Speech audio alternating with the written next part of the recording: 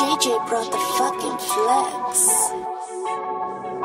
Electric on the fucking beat.